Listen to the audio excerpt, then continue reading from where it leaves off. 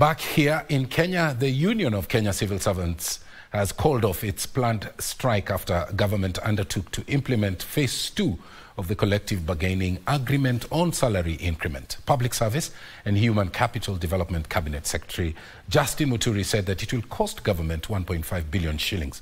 The Union Secretary General Tom Odege said that the salary increment will be backdated to July this year. It's about two months back and will enhance service delivery. Meanwhile, the Cabinet Secretary for Labour and Social Protection, Dr. Alfred Mutua, has announced a 6% minimum wage increment for Kenyan workers by October this year.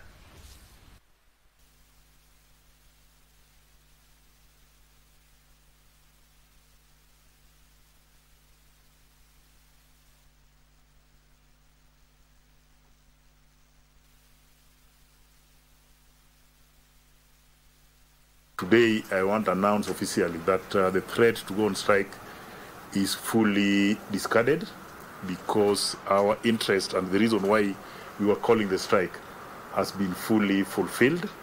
And now we are looking forward. And I want to make a request to the minister that uh, the CBA we are implementing today has come to an end.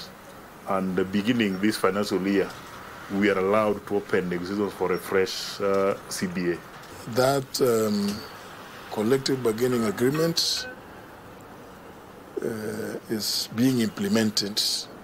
Was first implemented last year, last financial year, within the context of the financial year 22, 23, 24, and is supposed to be implemented also within the context, context of the financial year 23, 24, 25.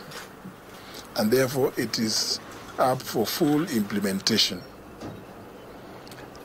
Consequently, our engagement with the National Treasury, and I must thank uh, the Honorable Tom Odege, uh, who has been working closely with us uh, in ensuring that um, every aspect of the CBA is honored by the national government. Therefore, the National Treasury has, which I may, I may wish to announce, has um, agreed to to provide resources for the payment of uh, civil servant salaries as per the terms contained in the collective bargaining agreement.